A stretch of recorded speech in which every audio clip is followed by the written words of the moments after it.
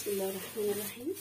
النهارده هنعرف إزاي نعمل الصلصه بطريقة جميلة كده وسهلة.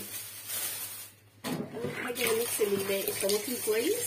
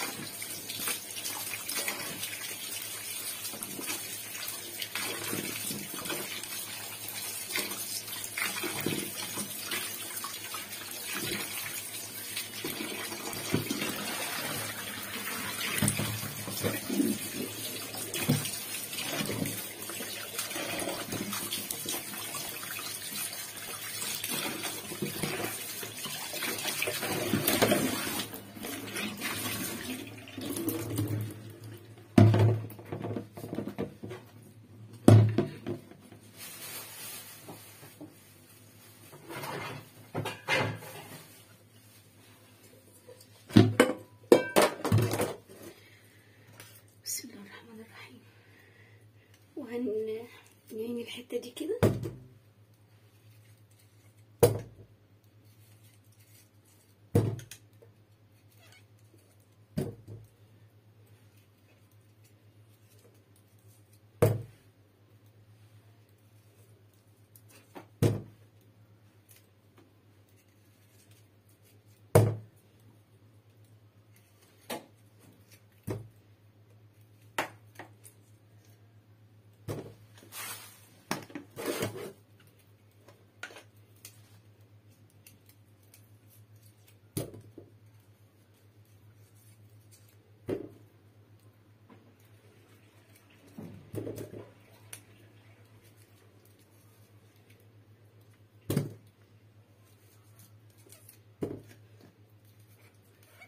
وهنحط عليها كوباية مية وهنسيبها على البوتاجاز ونغطيها كويس علشان البخار يسويها.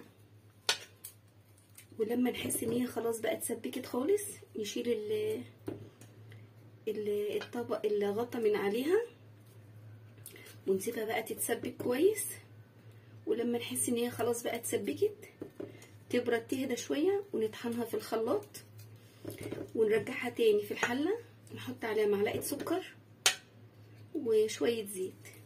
تاخد غلوة لأن هي طبيعي كده استوت. لغاية ما ناخد القوام اللي إحنا عايزينه منها. ونروح طافيين بقى تبرد ونروح معبينها في أكياس. أنا في الطبيعي بعمل كميات كبيرة أنا عاملة كمية كبيرة. بس الفيديو اللي أنا عملته اتمسح. فحبيت اوريه لكم في كمية إيه؟ 3 كيلو.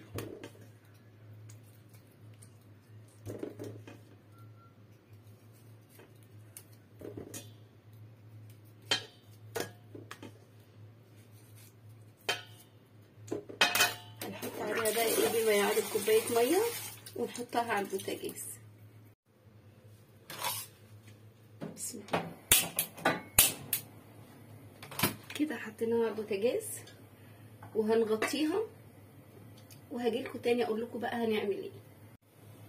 إحنا كده حطينا الطماطم وكوباية مية. هنحط لها شريحة بنجر. ولما تستوي هنشيل البنجر. ويا ريت ما تطحنوش البنجر مع الطماطم لأن البنجر لما بيتطحن مع الطماطم وتيجي تسبكه بيبوظ الطبخة وبيحرقها. بتلاقيها كده الطبخة من الصلصة من تحت عملت كده طبقة حرق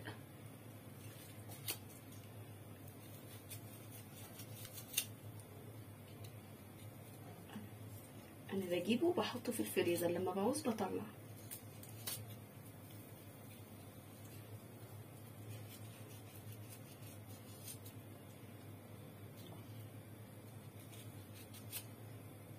وهنغطيها ونسيبها بقى تتسبك.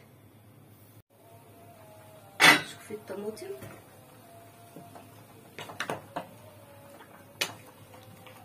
كل شوية كده تطلعي اللي من تحت فوق واللي فوق تحت. لسه بدري قوي عليه.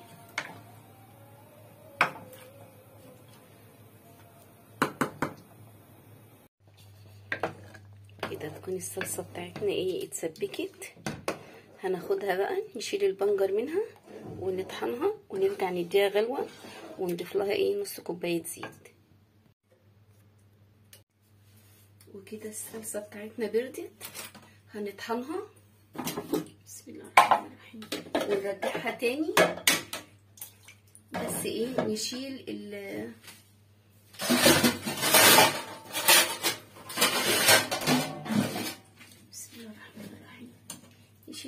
نشيل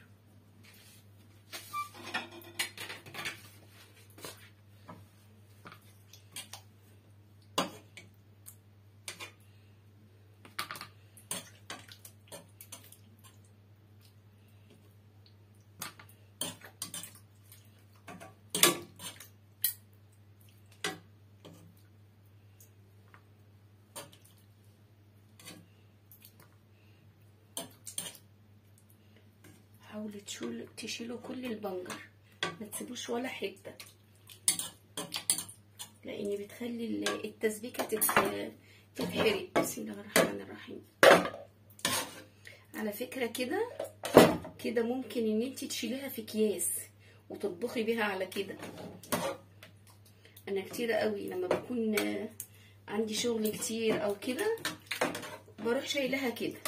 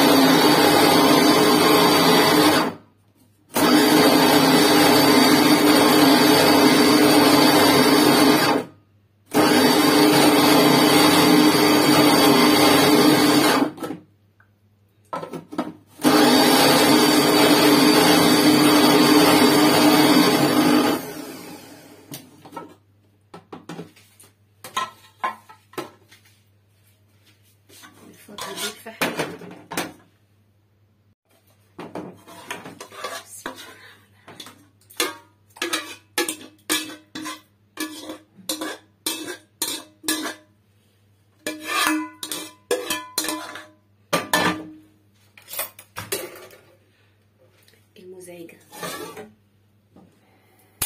يا أول مرة تعمل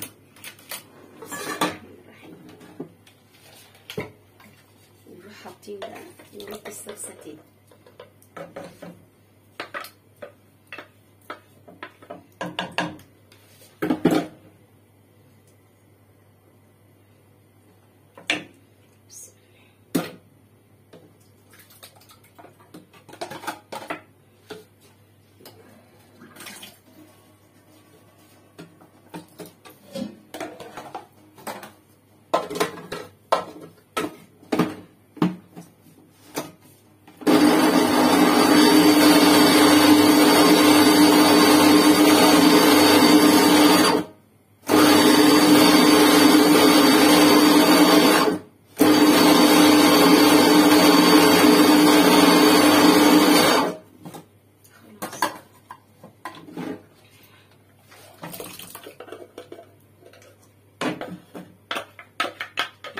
بقى ننزلها علشان ما نحطش مية كتير وإيه وترجع تاني تتسبك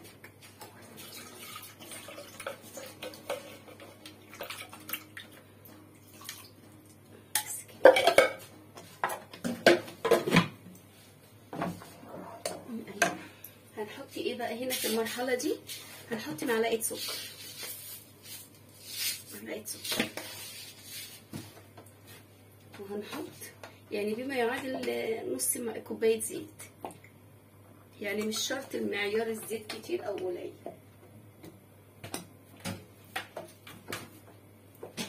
نقلب بسم الله الرحمن الرحيم. بس يا جماعة تقيلة وجميلة. بس حريرية.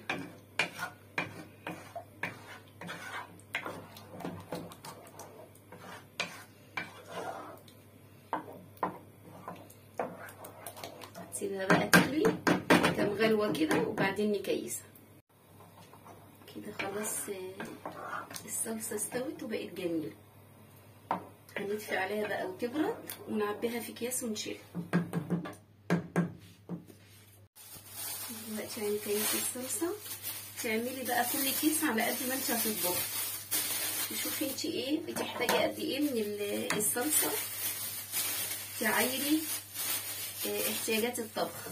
أو مقادير الطبخة اللي انت بتعمليها بسم الله الرحمن الرحيم. ولاحظي إن دي صلصة مش طماطم. يعني متسبكة جامد. دي صلصة. يعني المقدار اللي انت بتاخديه من الطماطم يعني تقلليه خالص من هنا.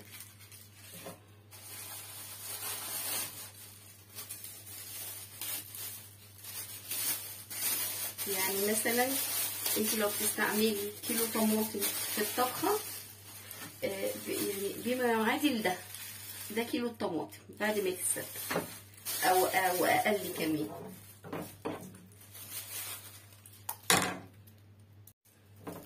نعبي الصلصة. عبي بقى وكيسي مقدار الطبخة اللي بتعمليها شوفي انت بتحتاجي قد إيه في الطبخة. وت... وتحطيها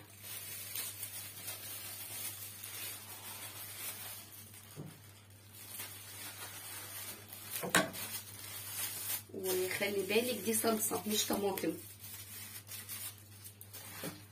يعني المقدار اللي بتاخديه من الصلصة هتاخدي نصه من التسبيكة دي من الطماطم. المقدار اللي بتاخديه من الطماطم هتاخدي نصه من هنا لأن دي اتسبكت وبقت صلصة.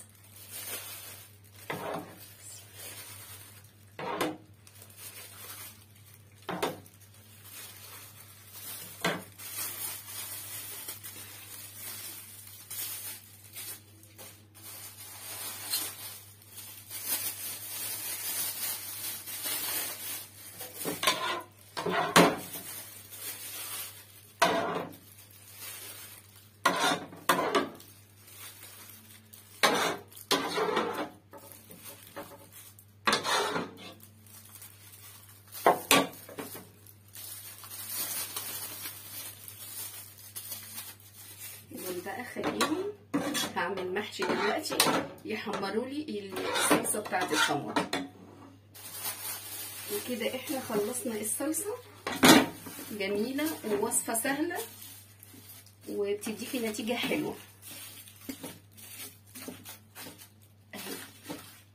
يا رب تعجبكم. السلام عليكم.